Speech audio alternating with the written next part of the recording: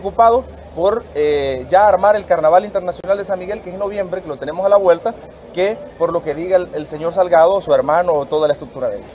Bueno Ricardo, yo dejo mi reporte hasta aquí, regreso nuevamente contigo ahí al set de Tele2. Buenas tardes.